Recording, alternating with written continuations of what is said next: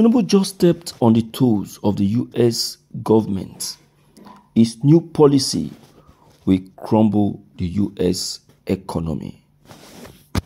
US President Joe Biden scream. All right, my people, we greet you all this very morning. This is Dlaw TV. Um, Joe Biden, the US president, has lamented bitterly. Bitterly, this guy is not happy over Bola Ahmed Tinubu's new policy. Yes, he's not happy. You know, he's not even the only person that is not happy. Some other countries as well are not happy. Nigerian as a country, hmm, in fact, is not even happy. Nigerian as a country is not even happy. Why? Because that policy will affect the country. Will affect the country.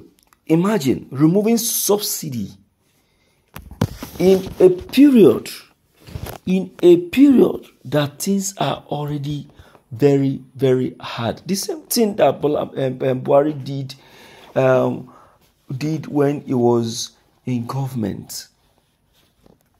You know, taking a decision when things are very difficult. That is why it is very, very important that before you make any decision, you consult economists you consult economic professionals for advice. I was telling someone yesterday that Tinubu is more stubborn. He's very stubborn. Hmm. The US president is already lamenting that Tinubu is getting on their toes. Yes. Let's check the contents and know what he meant. Good morning, Nigerians. It is no longer news that Asiwaju Bola Ahmed Tinubu has been sworn in as the 16th president of Nigeria. It will be recalled that Asiwaju Bola Ahmed Tinubu was inaugurated by the Attorney General of the Federation few hours ago. The event took place in the presence of several dignitaries, including presidents of various countries.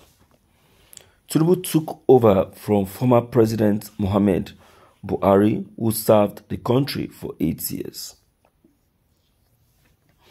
Reacting over the inauguration, President of the United States of America, Joe Biden, has though congratulated Tinubu but with a lamentation on his new policy.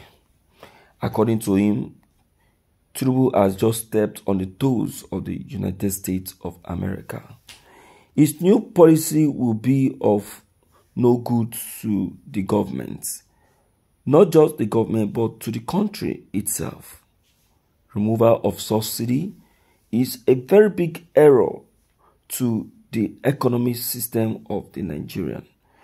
The country is still struggling to sit up, neither to stand. Removing the subsidy will bring an increase in the sales of petrol. Nigerians will find difficulty at a very long run, and I tell you, things will become very, very expensive. Hear him. I look forward to continuing this work with President Tinubu to support economic growth, advance security, and promote respect for human rights. The people to people connection between our two countries run particularly deep, nurtured by a vibrant Nigerian diaspora in the United States. But with this kind of policy, I don't think the economy will work out. You can see that. People are not happy at all. They are not happy because already they have seen it. You understand? Already they have seen it. No wahala. We are still on it. Um, what I will just say is that it's still what I used to say that it is those people who fixed him in there will be the one to suffer. We will not suffer. We will not go hungry. Things will still work out well. No matter how they plan or what they do. You understand? Things go still better. You know, understand me, my people? Uh-huh. Now so it. So I beg um, I don't hear waiting Joe, uh, Joe Biden, the US president, I don't hear waiting talk, the guy need happy and he need a smile at all for waiting just happen. Um, please uh, let's quickly uh, hear from you on this very matter. Let's know what's your own take, what's your opinion, or what you equally think on this. Don't forget to leave them below the comment section. Click on the subscription buttons as well as bell buttons to get updated each time we upload any new videos. Thank you.